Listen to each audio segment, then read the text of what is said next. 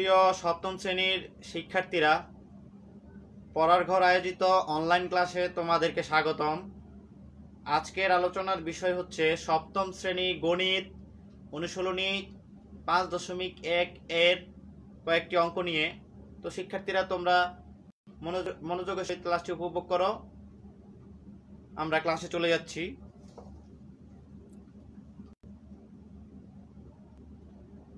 এখানে অনুশীলনী পাঁচ দশমিক এক হচ্ছে গণিত পাঠ্য বইয়ের পঁচাত্তর পৃষ্ঠায়।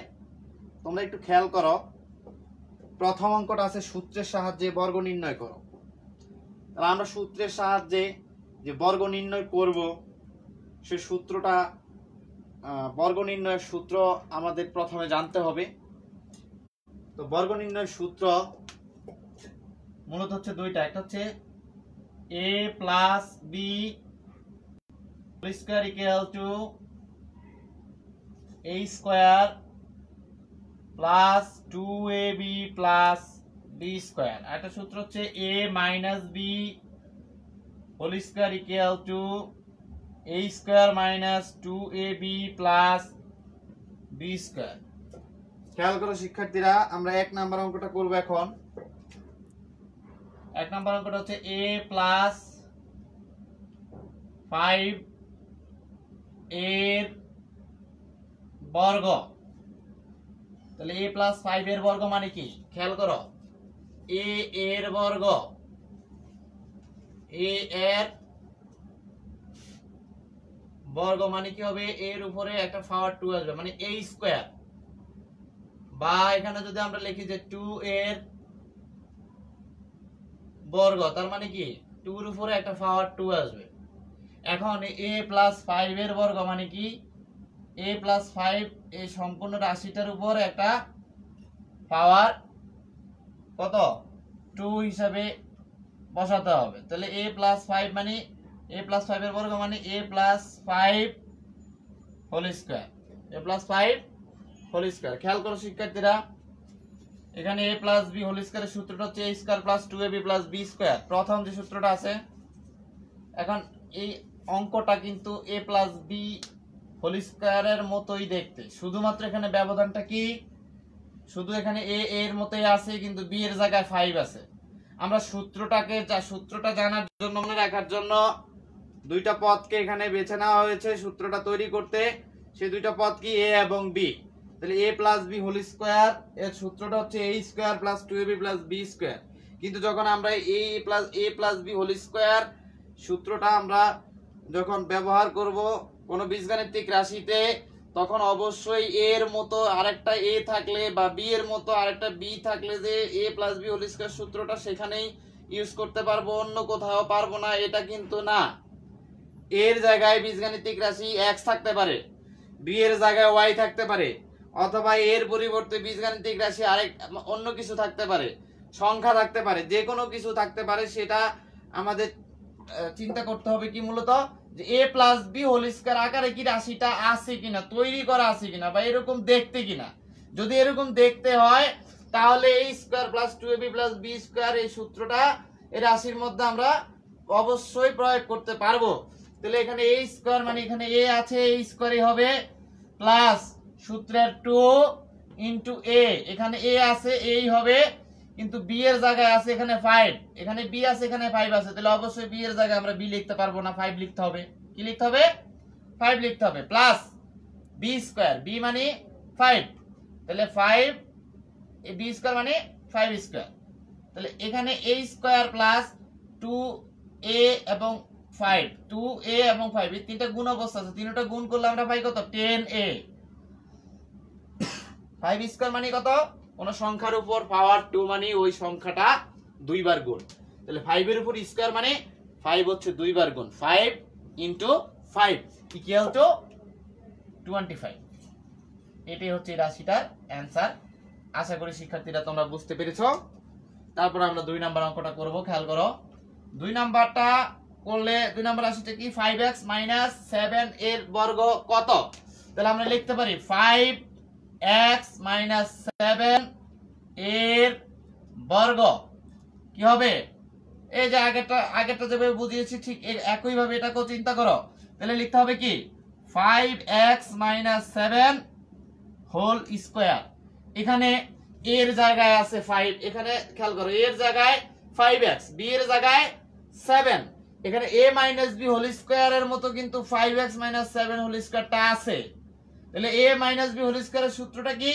A square minus two B plus B square এই রাশিতে আমরা প্রয়োগ করলে পাবো এ মানে ফাইভ এক্স খেয়াল করো, এখানে আরেকটা ভুল তোমরা সব সময় করে থাকো।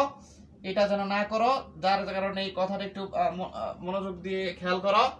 আমরা যখন যখন এ স্কোয়ার মানে একটা পদের উপর স্কোয়ার বি স্কোয়ার মানে একটা পদের উপর স্কোয়ার তোমাকে যদি বলা হয় এ বি হোল স্কোয়ার লিখতে। এ, বি, হোল স্কোয়ার বা এ এবং বি এর উপরে পাওয়ার টু হবে।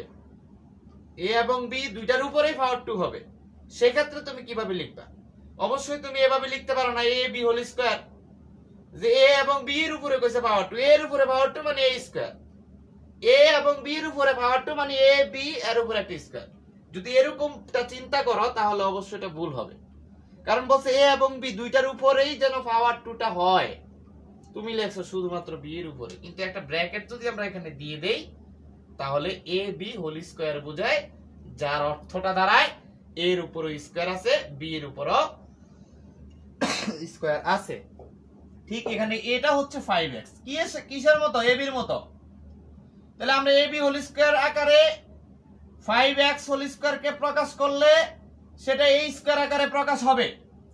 তাহলে এ স্কোয়ার এ স্কোয়ার মানে কি? Five X whole square minus সূত্রের টু ইন্টু এ এ মানে five X into B B মানে সেভেন প্লাস বি স্কোয়ার মানে বি হলো সেভেন তাহলে বি স্কোয়ার মানে সেভেন স্কোয়ার এখন ফাইভ এক্স হোল স্কোয়ার মানে ফাইভ এর উপর স্কোয়ার আছে এক্সের উপর স্কোয়ার আছে।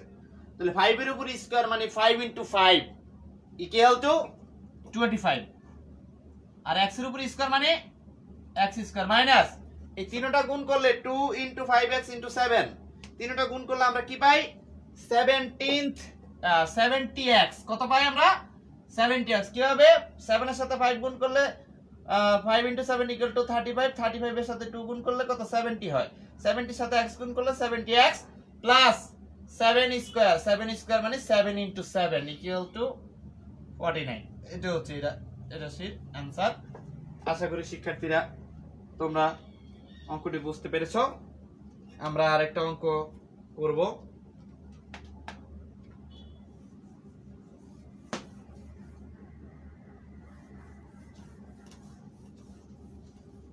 খেয়াল করো।